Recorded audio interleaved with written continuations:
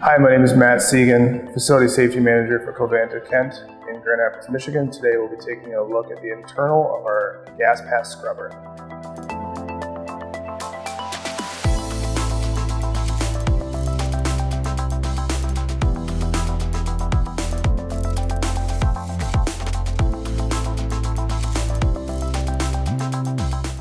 Internal of the scrubber will be looking for any wear and tear or large holes inside of the scrubber that will have been taken place during operation.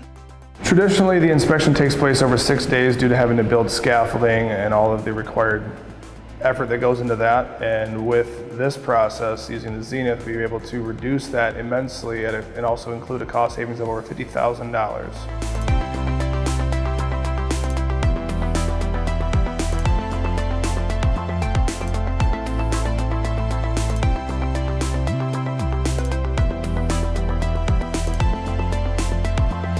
Our experience with Zenith has been a, an immensely great tool because it completely removes personnel from having to be inside of a confined space where traditionally, like as I said before, you'd have to have scaffolding built. This allows us to do it completely hands-free and remove the risk from putting people inside of a confined space.